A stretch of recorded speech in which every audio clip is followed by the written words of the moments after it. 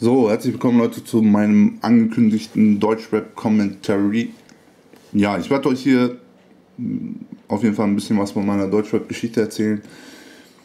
Äh, ich höre schon seit Urzeiten Deutschrap und ja, mittlerweile gar nicht mehr.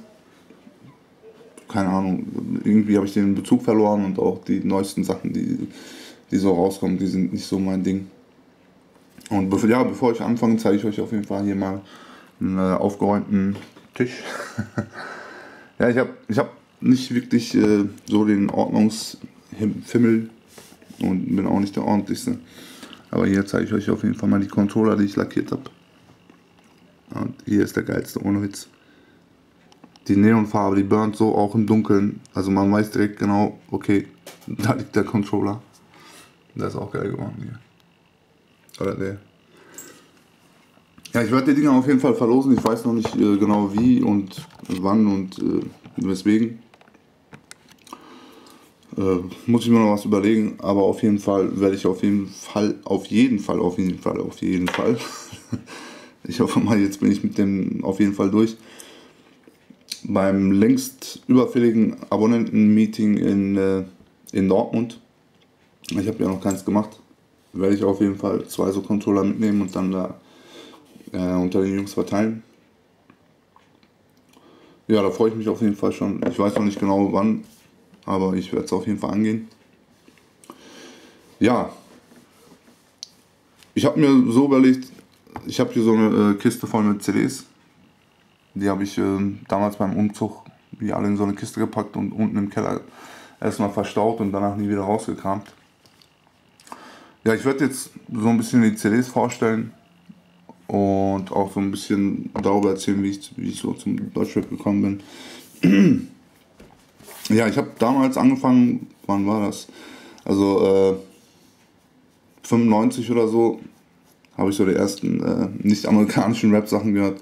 Das war damals äh, türkischsprachiger Rap von äh, Kartell. Hießen die Jungs, die waren richtig äh, übelste drauf.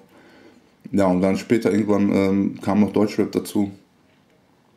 Ähm, ja, viel, viel, viele Sachen aus äh, Hamburg sind da neu rausgekommen und äh, Heidelberg, Stieber Twins und äh, ja, so hat alles angefangen. Aber ich würde mal sagen, ich zeige einfach mal so die CDs durch. Das ist hier City Nord. Hamburger Jungs. Zeiten ändern sich. Ja, auch eine geile äh, Platte gewesen. Und ja, danach irgendwie nie wieder was von denen gehört. Aber auf jeden Fall, die Single war übelst geil. Ja, die CDs sind so ein bisschen äh, übelste verstaubt und verschlissen. Eigentlich wollte ich die sauber machen und mich schön aufs Commentary vorbereiten, damit ich auch mal was Gescheites erzähle. Aber ich habe das dann die ganze Zeit vor mich hergeschoben und hatte keine Zeit dafür und äh, hätte ich das jetzt weiterhin ausgezögert, dann hätte ich das vielleicht ganz vergessen, die hätte gar keinen Kommentar gekriegt. Deswegen dachte ich mir, ach komm, machst du so wie sonst auch, Freestyle. Wird schon irgendwie passen. Ja, das ist so eine, äh, so eine, ähm, so eine Zusammenstellungs-CD vom, vom Splash äh, Festival. Ja, da sind viele Sachen drauf. Curse ist da drauf, Deichkind, Mr. Schnabel, Square One, KMC, Tefla und Jalil. Ey, ohne Witz, die Jungs waren so geil. Ferris MC von, äh, aus Bremen. Der war ja früher bei, äh, für die, die es vielleicht kennen, äh, FAB hießen die früher Freaks aus Bremen. Die gingen übelst ab. Ja, ansonsten, wer ist hier noch darauf? Dynamite Deluxe. Ähm, Gibt es ja jetzt nicht mehr, gibt es ja noch Sammy. Ansonsten Cool Savage ist mit da drauf. Ja, die scheiß Röhre hier nervt irgendwie voll. So. Bricks, das war eine Olle, die äh, gerappt hat. Auch ziemlich geil. Äh, ansonsten Lucky. Dann, äh, äh, wie hießen die immer? Naja, auf jeden Fall Wahnsinn geil. Hier ist nochmal äh, MOR. Das war eine Sache von, ähm, von Savage auch. Nee. Er hat mitgerappt. Oder? Äh, ja, irgendwie sowas. Also richtig erinnern kann ich mich an die CD nicht mehr. So, jetzt kommen wir hier zum Ruhrgebiet. RAG, die äh, Maxi-Eiszeit. War einer der Sachen, die äh, schlechter wurden, auf jeden Fall von RAG. Aber trotzdem nochmal einen Daumen hoch für die Leute, die es kennen. Master Blaster, das war so eine. Da war irgendwie alles Mögliche drauf hier. Mm, ja, die meisten Sachen kennt ihr sicher nicht. Hier auch nochmal Too Strong. Die drei von der Funkstelle. Also für die Leute aus, aus dem Ruhrgebiet muss das auf jeden Fall ein, Gebiet, äh, ein Begriff sein, die auf jeden Fall Deutsch hören. Too Strong. Obwohl es, äh, obwohl die fast gar nichts mehr machen, glaube ich.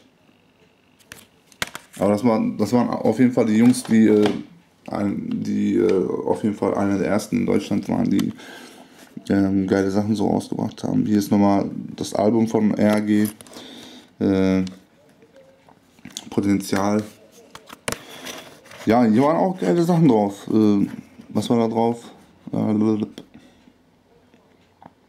immer langsamer übelst. Und tief im Westen leben und leben lassen.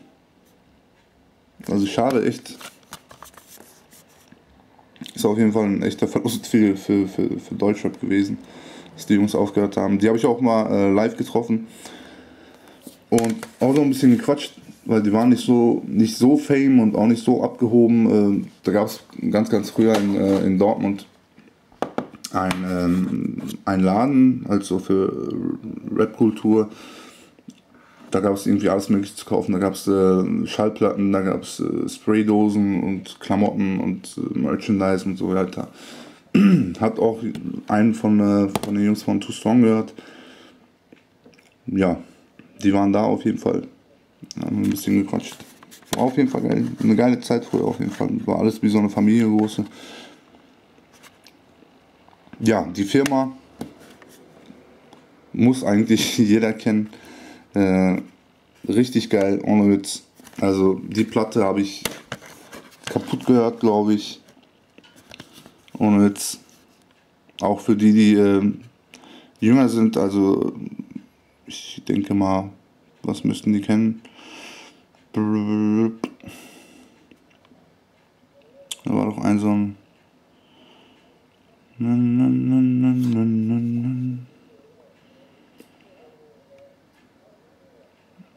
Die eine, genau. Das müsst ihr auf jeden Fall kennen. Die eine oder keine und so weiter. Ja, auf jeden Fall übelste Raps drauf. Scheiß auf Dio Klein. Das war so geil. Auf jeden Fall. Wenn ihr ähm, Deutschrap mögt und die Platte irgendwo seht, findet, auf jeden Fall kaufen. Und hier haben wir Curse.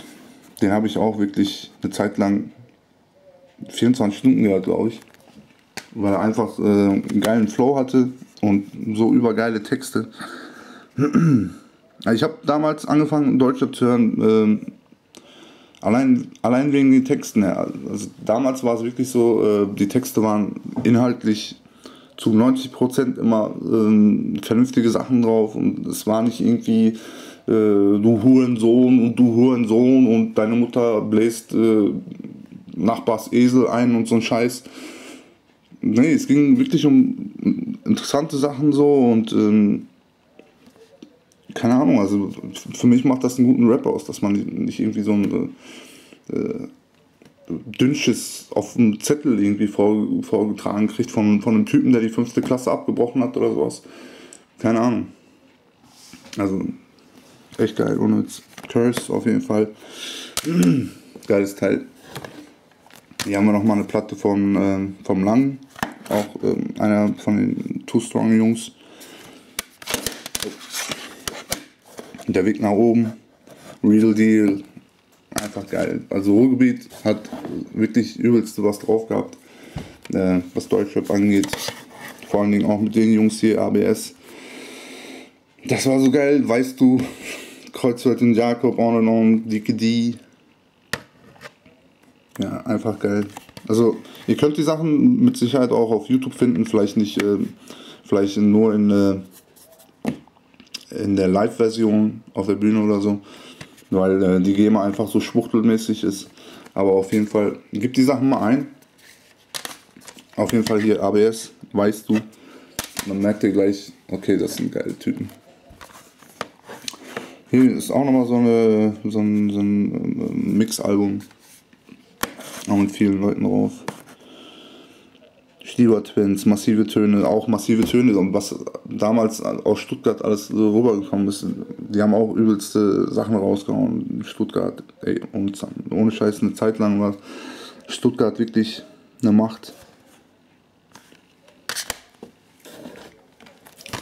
Hier auch so eine, ihr seht immer, wie viel Staub hier noch drauf ist. Schade, schade, auf jeden Fall. Hier ähm, nochmal eine CD vom Plattenpapst. Der hatte so ein paar Future-Sachen gemacht.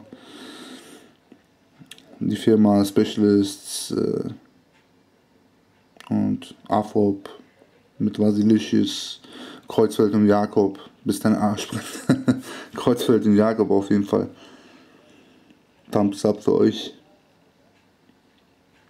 Ja, cool Savage mit King of Rap war auch Killer. Also ich habe Savas damals noch gehört, da hat er äh, auf Konzerten immer äh, irgendwie, äh, ich weiß jetzt nicht wie die Band heißt, die äh, den, äh, den Warm-up macht. Aber auf jeden Fall äh, war er damals ganz un unbekannt und hat da seine Tracks gemacht. Ja, hier haben wir noch äh, Azad war auch, äh, finde ich immer noch geil, weil er einfach so Mörder-Beats hat und so hart float. Daumen hoch nochmal. Was haben wir hier? Äh, ja, nicht original, deswegen auch nicht sehenswert. Too Strong, Royal. Ja, ich war sehr heimatverbunden. Ruhrgebiet, ich weiß nicht. Also ich habe viel kreuz und quer in Deutschland gehört, aber Ruhrgebiet war einfach so tief und dreckig. Also nicht. Also ich hab, ich bin auf jeden Fall immer noch total verbunden. Was haben wir hier? Die Stieber-Twins. Fenster zum Hof. Wann war das, ey? 94, 95. Guckt euch die Tracks an. Was ich empfehlen kann ist. Ich muss selber raufgucken. Ähm, Fenster zum Hof auf jeden Fall, das sowieso, aber äh, allein zu zweit, niemals solo. Ja, gebt einfach mal die Sachen ein, da werdet ihr auf jeden Fall auf gute Sachen stoßen. Hier haben wir noch ein Album von Curse.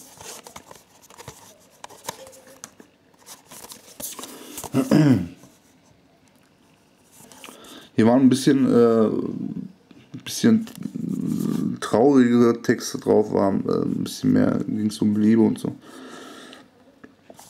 Aber auch ein geiles Album gewesen. Ja, hier ist mal so ein englische Eminem. Finde ich auf jeden Fall äh, von, den, von, von den englischen Raps her finde ich den auf jeden Fall unter den äh, Top 5. Massive Töne. Stuttgart auf jeden Fall ähm, haben die auch richtig geile Sachen gebracht. Wurde dann, wie, wie die ganzen anderen Sachen, irgendwann zu Mainstream und zu äh, offensichtlich und keine Ahnung. Das hat irgendwann nicht mehr gerockt und dann sind die auch von der Bildfläche verschwunden. Hier nochmal äh, Curse, nochmal die Firma. Wildstyle das war so ähm, aus den 80ern ein Film über Breakdance und Graffiti und so. Und hier ist halt der Soundtrack. Ja, hier hat äh, Cool Savage angefangen. Der ähm, hat bei, bei West-Berlin Maskulin angefangen, glaube ich. Und zusammen mit Taktlos, der ist hier zu sehen. Ja, Battle Kings. Ja, auf dem, auf dem Album oder generell ganz, ganz früher, Kuzawasch fand ich der hat wirklich zu viel geflucht. der hatte auch schon früher einen geilen Flow und so, aber der hat wirklich ununterbrochen ganz heftige Sachen gesagt. Hier nochmal Dynamite Deluxe. Sammy Deluxe, ähm, ja, war irgendwann cool und dann wieder nicht und dann wieder doch. Keine Ahnung. Also ist auf jeden Fall mal jemand, der rappen kann, aber war nicht wirklich mein Ding irgendwie. Hier haben wir nochmal Specialists aus Berlin. Harris und Ferris, glaube ich, hießen die. Ja, habe ich das Album habe ich mir damals geholt, war okay. Äh, aber kein äh, Stern am Himmel oder sowas. Nochmal Dynamite Deluxe.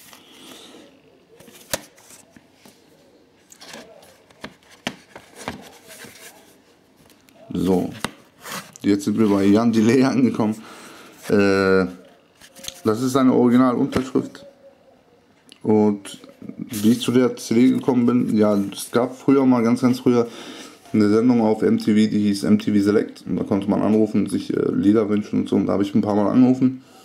Und ja, einmal war Jan Delay äh, im Studio und äh, ja, an den konnte ich eine Frage stellen und dann habe ich die CD bekommen. Ja.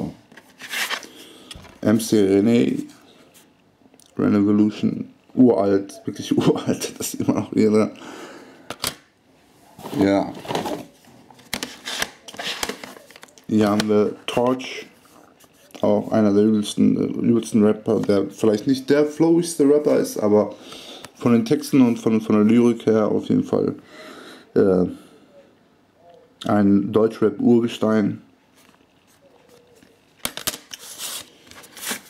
Wie, wie soll es auch anders sein? Too Strong mit Silorin, drei Bekloppte. Einfach zu geil. Ja, allein der Track hier, Abend, schwarze Nacht. Bombe. Ehrlich, wirklich Bombe. Wie bin ich nochmal im Spiegelbild? Was geht?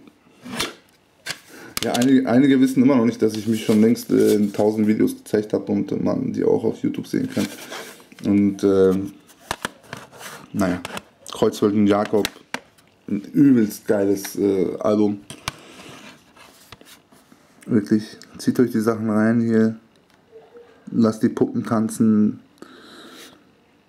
und Federhandschuh, Burner-Track mit Savage zusammen das ist äh, schon so alt, das, das, der Track ist schon so alt, aber wenn ihr den hört, der burnt echt alles weg, was momentan irgendwie kreucht und fleucht. Einfach Kopfhörer aufsetzen, voll aufdrehen, Federhandschuh, burnt, burnt sowas von, ohne Witz. Ja, was habe ich hier noch? Ja. Das war die andere CD, die ich bei äh, MTV Select gewonnen habe. Da war ein Outcast da. Haben die auch unterschrieben, einmal da und einmal da. So fresh, so clean. Keine Ahnung, ich, ich mag den Track jetzt nicht, weil ich die CD gewonnen habe, aber auf jeden Fall irgendwie, wenn, wenn ich am Duschen bin und der Track läuft, ist geil. ja, jetzt habe ich nur noch eine Sache hier. Äh, FK All-Stars, Freundeskreis. Habe ich auch damals wirklich kaputt gehört äh, mit Max, der wirklich von, von, von Texten her und ähm, von allen anderen Sachen wirklich Max Herre, der wirklich so geburnt hat, so einen Flow hatte. Keine Ahnung. Schade, dass er äh, zum Schluss hin irgendwie zu äh, einer ganz anderen Musikrichtung gewechselt ist. Auf jeden Fall als Rapper, Rapper hat er übelst was drauf gehabt. Schade drum. Ja, ich das war's. Das war meine Geschichte, meine Deutschrap-Geschichte. Ähm, ein paar CDs habe ich nicht mehr, weil ich die irgendwie verschenkt oder verscherbelt habe oder sonst irgendwas. Aber auf jeden Fall, ja, wie in allen anderen Sachen, Deutschrap war früher geil und jetzt geht steil bergab oder so, keine Ahnung. Ähm, ja, also das, was momentan draußen ist, ähm, kann ich nicht wirklich hören. Und ich habe ja letztens mal so ein, äh, äh, halt einer meiner Lieblingstracks mal vorgestellt hier in einem Commentary, glaube ich, Crow war das. Und da kam direkt eine, Dis Diskussion hoch, die schon so uralt ist und die ich damals selber als 15-Jähriger genauso gemacht habe, mit von wegen er ist kein richtiger Rapper und so und äh, der soll mal aufhören zu rappen, der soll mal hier äh, Pop machen oder sowas und richtige Rapper machen so einen Scheiß nicht. Und ja, das ist so eine Diskussion, die habe ich damals genauso gemacht, äh, wie Rapper um die Ecke kamen, wie zum Beispiel hier äh, Sammy Deluxe. Sammy Deluxe war für mich irgendwie äh, als Kitty auch kein richtiger Rapper. Der hat mich auch abgefuckt und ich habe auch mit Kumpels gestritten und so und äh, richtiger Rap muss äh, hart und tight sein und nicht hier so ein schwulen Gelaber. Aber ihr werdet auf jeden Fall irgendwann zur Einsicht kommen, dass auf jeden Fall Rap tausend, tausend Gesichter hat und Rap kann wirklich in jede Richtung, äh, Richtung gehen und Hip-Hop kann in jede Richtung gehen. Deswegen äh, macht es auf jeden Fall nicht so, dass ihr euch äh, Grenzen setzt in der Musik, dass ihr, dass ihr sagt, okay, der Typ ist äh, scheiße, deswegen ist auch seine Musik scheiße und deswegen wird er auch immer scheiße bleiben und so. Seid auf jeden Fall keine, äh, keine äh, Mus Musiknazis. So. Hört, hört euch, äh, gibt jeder Musikrichtung eine Chance, hört euch die Sachen an. Ihr müsst ja keine Fanboys von der Musik werden, aber keine Ahnung hört auf mit diesem, was ist tight und was ist nicht tight und ähm, keine Ahnung, also ja, was soll ich sagen? Also ich habe früher auch so Sachen gehört wie, wie Bushido und so. Ähm, wann war das? Sein, sein äh, erstes Album vom Bordstein zu Skyline, äh, vom Bordstein zu Skyline, äh, fand ich richtig geil, habe ich auch ein paar Wochen gehört und so. Aber irgendwann, äh, keine Ahnung, wo die neuen Sachen rauskamen und wo er dann ein, einfach nur noch über Scheiße gelabert hat, fand ich es nicht mehr so cool. Deswegen unterscheidet immer zwischen, äh, keine Ahnung, Texte finde ich unheimlich wichtig in, äh, in, in Raps und äh, Beats und so und ich, ich kann auch wirklich jede Musikrichtung hören. Ich kann sogar Schlager hören und äh, keine Ahnung. Also ihr braucht euch nicht zu schämen, wenn ihr irgendeinen, äh, Musiktrack geil findet und äh, keine Ahnung. Ja, ich will euch auf jeden Fall nicht voll labern. Ich werde jetzt auf jeden Fall noch ein Commentary aufnehmen, weil das ist ein wichtiges Thema, das ich ansprechen will. Und ja, ich hoffe, es hat euch gefallen. Falls ihr noch Fragen habt wegen der Mucke und so, schreibt auf jeden Fall in die Kommentare. Und ja, forscht mal so ein bisschen auf YouTube die Sachen, die ich euch gezeigt habe. Vielleicht findet ihr was Cooles, was ihr noch nicht kanntet. Und ja, das war's von mir. Macht's gut. Bis demnächst. Peace out.